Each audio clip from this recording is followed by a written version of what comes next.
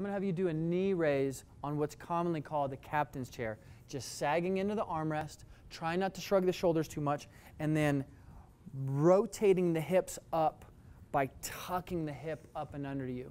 The head straight forward, not too much tension in the shoulders, and that's exactly how a knee raise should look on the captain's chair.